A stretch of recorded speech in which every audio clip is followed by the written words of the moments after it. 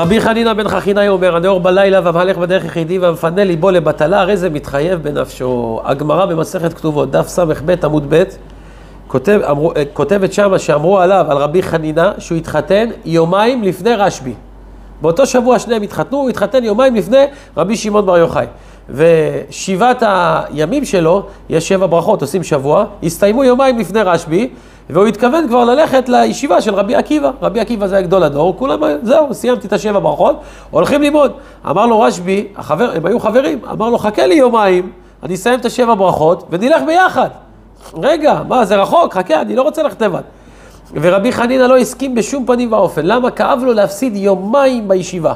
לכן הוא לא המתין לרבי שמעון, חזר מיד לישיבה. אומר לו, מה יומיים? מה אני אעשה פה? יומיים, מבזבז את הזמן שלי. אני הולך ללמוד.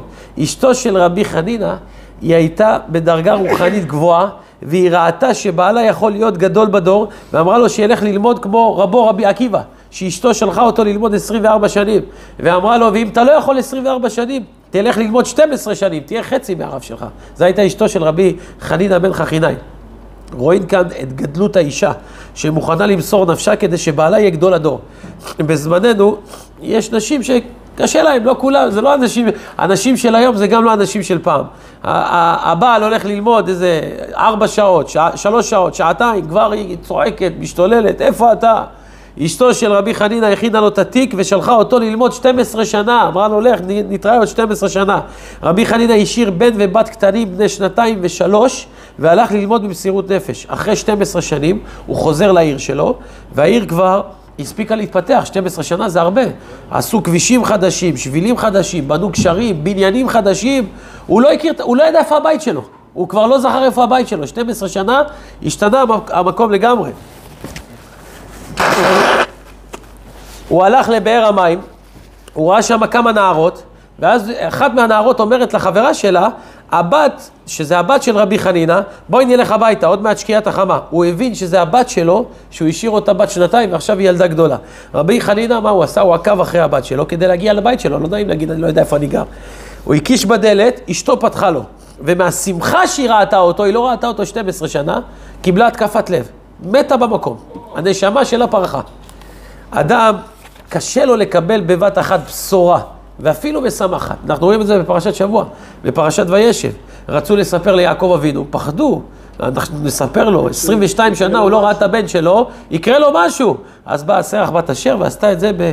אבל בכל זאת כתוב, ויפוג ליבו כי לא האמין להם. מה זה ויפוג ליבו? עבר אירוע לב. קשה מאוד. אז היא ראתה אותו בבת אחת, נפטרה מן העולם. מספרים על עני שזכה בהגרלה של 50 מיליון דולר. עני שהיה חי ברחוב, הוא זכה פתאום ב-50 מיליון דולר, פחדו להגיד לו. יגידו לו, יכול למות מסכן. הביאו פסיכולוג שינסה להגיד לו לאט לאט, יא חביבי, אתה עכשיו זהו, לא צריך לגור ב... אמרו לו, אם היית זוכה באלף דולר, מה היית עושה? הוא אומר, מה זה, הייתי מכסה את החוב שלי במכולת. ואם היית זוכה בעשרת אלפים דולר, אז הוא אומר, הייתי קונה רהיטים ומיטות לילדים. ואם היית זוכה במאה אלף דולר, או-אה, הייתי מרחיב את הבית שלי, מוסיף עוד שתי חדרים. ואם היית זוכה במיליון דולר, אמר להם, מה זה מרחיב? הייתי מחליף את הבית. ואם היית זוכה בחמישים מיליון דולר, אמר לו, תאמין לי, חמישים מיליון, חצי בשבילי, חצי בשבילך. תן לי חמישים מיליון. מה קרה? הפסיכולוג מת במקום. למה? כי גם הוא לא היה מוכן, והיה צריך, הוא, היה, הוא, גם היה, הוא גם בעצמו לא היה מוכן, הוא היה צריך פסיכולוג נוסף. רואים מכאן שגם דבר שהוא שמחה, קשה לאדם לקבל אותו בלי הכנה מוקדמת. גם כאן אשתו של רבי חנינא, היא לא החזיקה מעמד מהבשורה, והגיעו חבר'ה קדישא וכל השכונה כדי ללוות את הנפטרת. אבל רבי חנינא היה צדיק, הוא עמד על ידה ואמר, ריבונו של עולם, האישה המסכנה הזאת, שלחה אותי ללמוד תורה 12 שנה במסירות נפש, גידלה את הילדים לבד, עברה איתם מה שעברה לבד, לילות, ימים, הכל עברה איתם לבד, בלי עזרה ומקור פרנסה. מה, זה תורה וזה שכרה? ככה מגיע לה למות למסכנה הזאת, ככה אמר רבי חנינא עוד לפני שקברו אותה. הגמרא אומרת שהמילים שלו עשו רושם בשמיים, והיא קמה על רגליה, תחיית המתים. היא קמה על רגליה, תחיית המתים ממש. אחת השכנות שהייתה שם במעמד תחיית המתים, אמרה לבעלה, שהיה רבי חמא בר ביסה, שאמרה לו, תשמע, תראה מה הכוח של התורה. אמרה לו, לך, לך הביתה, לך תלמד גם אתה 12 שנה. אמרה לו, לך תלמד גם אתה 12 שנה. ותלמד מרבי חנינא שבזכות התורה הוא הצליח להחיות את אשתו. ובאמת, גם רבי חמא הזה הלך ללמוד 12 שנה. וכשהוא חזר, הוא פחד ללכת הביתה ישירות, הוא ראה כבר יש תקדים. אז הוא פחד ללכת ישר. שאם אשתו תמות, הוא אומר, אני, אני לא רבי חנינא, אולי אני לא אצליח להחיות אותה. הוא פחד. גם רבי חמא הלך לבית המדרש המרכזי בעיר, כדי שיראו שהוא חזר, ולאט לאט תתפרסם השמועה, וככה אשתו לא תיבהל, לא בבת אחת. הרב של בית המדרש, הוא הכיר את רבי חמא, וכיבד אותו, אמר לו, בכבוד, בוא תמסור שיעור, הרבה, לא ראינו אותך 12 שנה. רבי חמא מסר את השיעור והיה בבית המדרש תלמיד בן 16, שהקשה עליו קושיות חזקות כמו ברזל. ההוא נותן שיעור והוא מקשה קושיות. ארבע שעות שיעור עם קושיות ותירוצים והתלמיד לא מוותר, מקשה עוד קושיות. בסוף השיעור הלך רבי חמא לבית שלו, אשתו פתחה לו את הדלת והיא הייתה רגועה. למה? כי היא שמעה שהוא כבר הגיע. היא הייתה כבר מוכנה. הכינה לו ארוחת ערב ושמעו דפיקות בדלת. ומי נכנס? הבחור בן 16 שהקשה עליו קושיות בשיעור, אמר רבי חמא שהוא רוצה לקום, הוא רוצה לעמוד מהבחור החריף הזה, הוא הקשה עליי קושיות גדולות, מי זה הבחור הזה?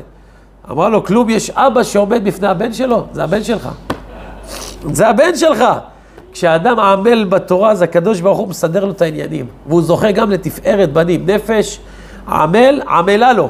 אדם עמל בתורה במקום אחד, והתורה עובדת בשבילו במקום אחר. נחזור לדברי רבי חנינא, מה הוא אמר במשנה? הוא אומר שהנאור בלילה, מה זה הנאור בלילה? העולם הזה נקרא לילה. אם אדם נאור לענייני העולם הזה יותר מדי, זה מסוכן. מתעסק יותר מדי עם דברים של העולם הזה, זה מסוכן. והמלך בדרך יחידי, כלומר, מי שהולך לבד, בלי הדרכה, מה זה מהלך בדרך יחידי? בן אדם שהולך בעולם הזה, שהוא נקרא לילה לבד, בלי הדרכה של רב, בלי מי שיכוון אותו מבחינה רוחנית, הוא חושב שהוא מבין הכל ויכול להסתדר לבד בעולם הזה, ולא עוד אלא שהוא מפנה ליבו לבטלה. והוא הולך לפי מה שהוא חושב. מה ש... מי זה, מי זה רבי? רבי זה רסי. הראש שלי, מה שיגיד לי, אני אעשה. הרי זה מתחייב בנפשו.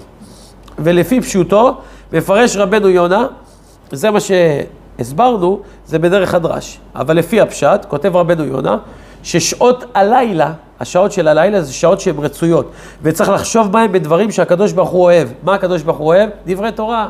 שעות של הלילה, אין לך עבודה, כולם ישנים, ואם אתה עכשיו תתחיל לראות האח הגדול בלילה ותתעסק עם כל מיני שטויות, אתה תפסיד את הזמן שבו אתה יכול להשיג מחשבה ברורה ונכונה ולקנות לעצמך חיי עולם. חיי עולם. אומרת, אומרים רבותינו, הלילה אין סערה, הקדוש ברוך הוא לא ברא את הלילה, אלא בשביל מה? כדי ללמוד. העולם שקט, העולם רגוע, אתה יכול ללמוד בנחת. נכון, זה קשה אחרי יום עבודה, אבל לפום צערה אגרה. כמה שאתה תנצל את הזמן הזה יותר, הקדוש ברוך הוא ייתן לך בעזרת השם יותר.